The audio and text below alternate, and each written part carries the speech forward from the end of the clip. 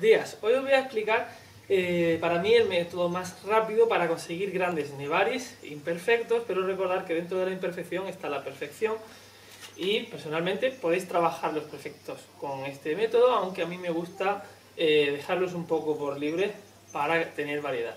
En este caso luego jugamos con el árbol según el nevari que nos va creando. Es eh, el método sin duda más rápido para ensanchar un buen nevari y os voy a explicar un poco cómo funciona, aunque no tengo ahora mismo los medios para explicaros porque no estamos en época, ¿vale? Y básicamente se hace mediante el esquejado. Vamos a necesitar una tabla grande, ¿vale? Y vamos a ensanchar el nevari. Lo más rápido es con especies de fusión rápida, como pueden ser los arces o los ficus, en el cual vamos a coger esa tabla y le vamos a hacer tres agujeros, cuatro los que queráis, y en cada agujero vamos a esquejar un esqueje, ¿vale? Vamos a poner la tabla sobre el sustrato y vamos a introducir el esqueje como lo haríamos sin estar la tabla, pero con la tabla por encima. Eh, vamos a hacerlo con los agujeros bastante próximos, en torno a un centímetro, centímetro y medio cada uno de otro. De tal forma que esos esquejes, cuando agarren, van a empezar a engordar, van a ahorcarse van a empezar a engordar. En este boquete de la tabla van a acumular todas la, toda la savia que va a circular hacia abajo, o sea, la savia, la savia elaborada. La savia bruta desde las raíces van a subir, van a alimentar el esqueje, va a crecer mucho, pero esa savia elaborada va a tener dificultad en bajar, cada vez va a bajar menos, se va a estrangular y va a quedarse ahí. Esa savia elaborada al estrangular y al crear ese abultamiento va a tener que buscar otra fuente de alimentación, que no está siendo las raíces porque no se están alimentando, por lo cual va a empezar a emitir raíces ahí. Cuando ya empieza a abultar vamos a enterrar la tabla hasta ese bulto. Ese bulto tiene que quedar, o sea, si esta es nuestra tabla y el bulto empieza justo arriba, vamos a enterrar un poco por encima de ese nivel para ayudarle mediante la etiolación, la falta de luz, a emitir más rápidamente y gracias a la humedad ese tipo de raíces. En ficus vais a ver que eso es muy rápido, ocurre en cuestión de, una semana o días, en arces puede tardar un poquito más, pero lo mismo y funciona con gran cantidad de especies, con granados, con otra variedad de especies, ¿vale? Esta que os voy a enseñar ahora de cerca es con un único esqueje y tiene tres años, ¿vale? Ha estado dos años estrangulada, al tercer año le metí el tajo, lo separamos y lo pasamos a esta maceta de cultivo. Para llegar a este crecimiento tan brusco en tan poco tiempo necesitamos, porque el esqueje era una remita chica, ¿vale? Necesitamos suelo, es muy importante. ¿Por qué? Porque la elongación de la pivotante es la que va a hacer que crezca más nuestro árbol hacia arriba, ¿vale? Va a ser equitativo. De tal forma que está estrangulado, no va a, crear esa patata, pero va a seguir creciendo la pivotante hacia abajo, mientras él va a seguir hacia arriba. Va a potenciar el crecimiento al máximo. Esos plantones, una vez tocan esos abultamientos unos con otros, de ahí lo de un centímetro y medio aproximadamente, dos como mucho, aceleraremos el proceso, se van a fusionar, ¿vale? Donde se unan. En esa unión se van a fusionar y luego alrededor van a crear el nuevo sistema radicular, que es donde tendremos nuestro nevari. Luego para separarlo cortaremos con mucho cuidado justo, si está en nuestra tabla, las raíces están por aquí, nosotros vamos a cortar aquí arriba, por encima de la tabla, entre la tabla y las nuevas raíces que nos van a crear eh, en esa parte en el segundo o tercer año, ¿vale? Y entre tres años pues tendremos lo que os voy a enseñar ahora, ¿vale? Este, como ya os digo, está salvajado porque me gusta darle ese carácter y ahora vamos a podar fuerte para empezar nuestro árbol, ¿vale? Así que eh, voy a acercar la cámara para que lo veáis. Mirad, esto es un esqueje de Ficus microcarpa normal y mirad el grosor, ¿vale? Esto está plano, justo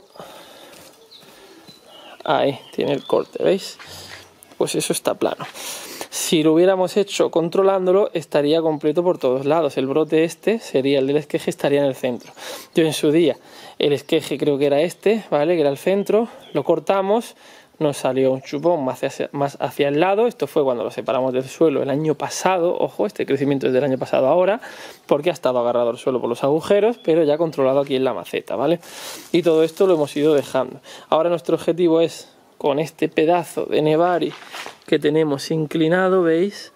va a hacer este movimiento el árbol, ahora viene hacia acá y ahora va a recuperar hacia acá un poco.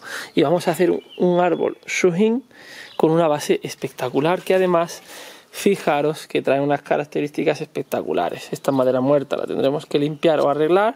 Tenemos raíces que estamos dejando crecer para eh, darle más carácter a esta zona y que no sea nada simétrico, sino todo lo contrario, ¿vale? Fijaros que por ahí sigue un poquito el nevarin y bueno, ahora tenemos que cortar todo esto que sale de abajo y vamos a cortar nuestro árbol por aquí aproximadamente, de tal forma que aquí dimos un primer corte, ¿veis?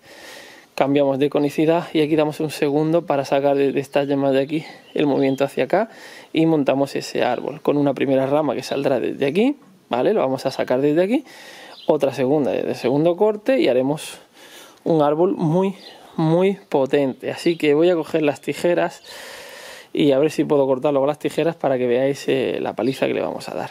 Vamos con el corte, para ello solo necesitamos unas buenas tijeras pasta cicatrizante y en mi caso pues un serrucho. Para cortar vamos a medir, tenemos este tamaño, quiero aproximadamente un poquito menos, se suele hacer un tercio en cada tramo, ¿vale?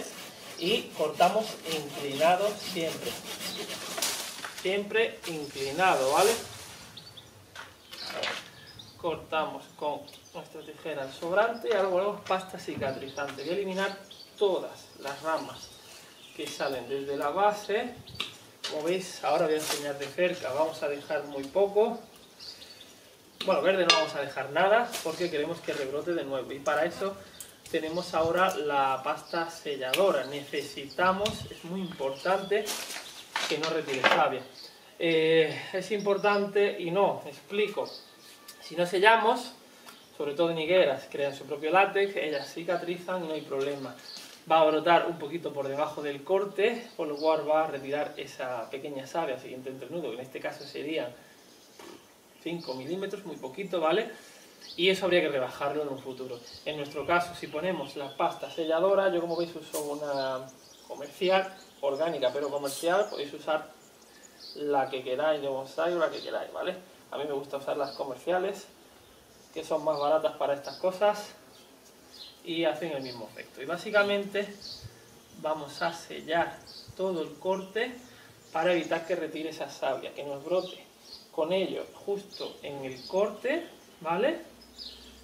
Y eh, creemos pues esa rama justo en el corte para que cicatrice cuanto antes. En el entrenudo donde quiero que me haga una ramita le voy a hacer una pequeña muesca donde, ¿vale? Esto es muy importante, en esa muesca voy a poner también selladora para que no se seque y infle por ahí un poquito un bulto para crear eh, células nuevas, células madres y donde hará